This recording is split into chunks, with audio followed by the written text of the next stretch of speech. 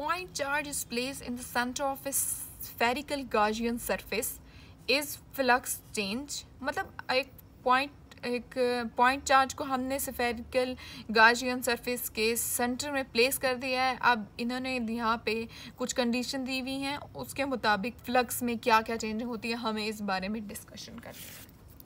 तो हम इसको ड्रॉ कर लेते हैं। फॉर एग्ज़ाम्पल ये हमारे पास एक गार्जियन सरफेस है। ठीक है, इसके इस सेंटर में हमने एक पॉइंट चार्ज रख लिया है। ठीक है point charge now, if the sphere is replaced by a cube of same volume, अगर इस स्फेयर को चेंज कर दिया जाए इसी जैसे एक और वॉल्यूम के साथ। लेकिन पॉइंट चार्ज वहीं पे मौजूद हो तो हमारे पास जो फ्लक्स होगा, उस पर क्या असर होगा? A point charge is place at the centre of sphere of a Gaussian surface if the sphere is replaced by a cube of same volume the flux will not change क्योंकि वो same exact इस जैसा ही होगा same volume का होगा same shape का होगा तो उस पर कोई असर नहीं पड़ेगा। Second, a point charge is placed in the center of a spherical Gaussian surface if the sphere is replaced by a cube of one tenth of volume.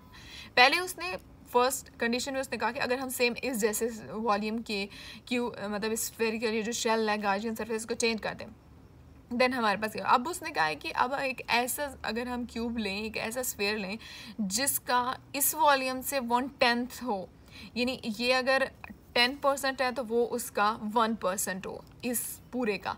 तो देन हमारे पास जो फ्लक्स है, उस पर क्या असर पड़ेगा? The flux will not change then भी फ्लक्स पे कोई असर नहीं पड़ेगा।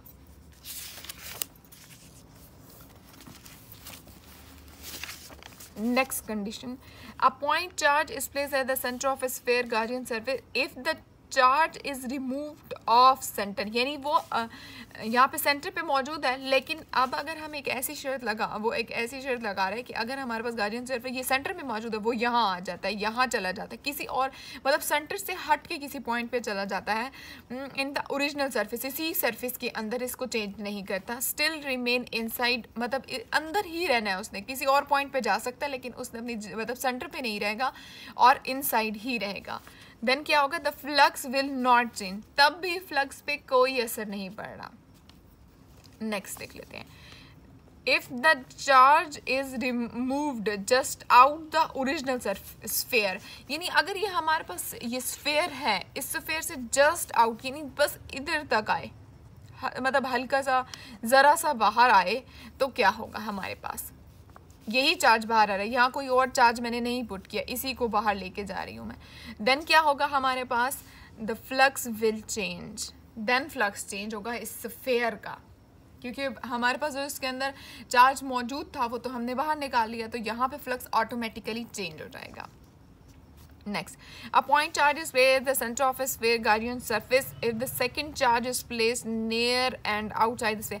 ठीक है अब उसने कहा है कि हम ये चार्ज यहीं मौजूद है लेकिन हम ऐसा करते हैं कि एक और चार्ज ले लेते हैं जिसे हम इस जगह पे बिल्कुल स्फेयर के बिल्कुल साथ रख देते हैं दैन हमारे पास क्या होगा यानी ये हमारे पास दो चार्जेस हो जाएँगे। एक ऑलरेडी हमारे स्फेयर के अंदर है और एक हमने अज्यूम किया हुआ है। देन हमारे पास फ्लक्स में क्या होगा? The flux will not change flux का, इन दोनों का आपस में कोई इंट्रैक्शन नहीं होगा no attraction no repulsion no connection so हमारे पास फ्लक्स में फिर भी कोई चेंजिंग नहीं आएगी। A point charge is placed at the center of a spherical sphere. If second charge is place inside this Gaussian surface मतलब उसने ये कंडीशन लगाई है कि अगर हम एक और charge inside the sphere ले लें स्फेयर के अंदर ले लें देन हमारे पास फ्लक्स की क्या कंडीशन होगी? द फ्लक्स विल चेंज लाजमी बात है, ये एक दूसरे को या तो अट्रैक्ट करेंगे या फिर रिपेल करेंगे।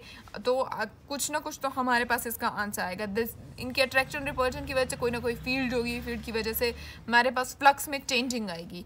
The flux will change